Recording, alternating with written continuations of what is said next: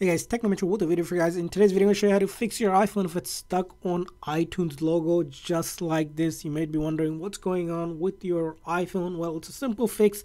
You're going to follow these steps exactly the way I'm showing you. First thing is you're going to press and release the volume up and then press and release the volume down one after another. So volume up, volume down. Finally come over to this side and then hold this side button until you can see the screen go completely black and the Apple logo appears, which will exit out of that iTunes logo screen. At that time, you'll let go of that button. So I'm going to do exactly this process, volume up, volume down, and then you hold that side button just like that.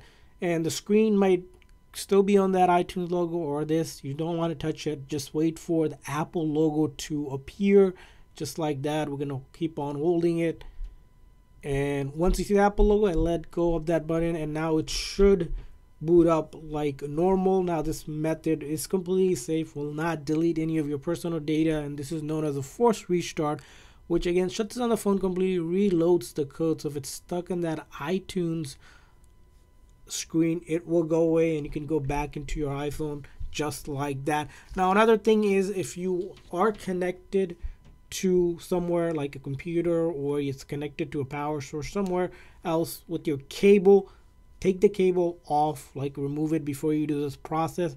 Now the other thing you also want to do is if you notice that your battery was low or it's running low charge it for about 10 minutes or so and then do the same exact process. Unplug it first and then follow the process to again volume up volume down and then hold that side button just like that and wait for the Apple logo to appear. And you can try to do this probably a few times and it might work for you because what it's doing each time you do it, it's basically trying to shut down the phone and then reload the code. So give it a few tries, charge it for another 10 minutes or so, and then do it again and unplug it. And after that, hopefully your iPhone is fixed and you're unstuck from that iTunes logo.